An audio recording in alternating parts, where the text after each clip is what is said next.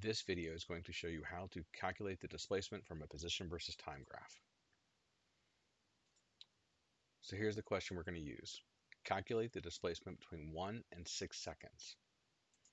So to do this, I'm going to have to find the change of position between 1 and 6 seconds. So 1 to 6. I'll go at the 1 second mark, go up till I hit the line, then go over to the position, which is 3 meters.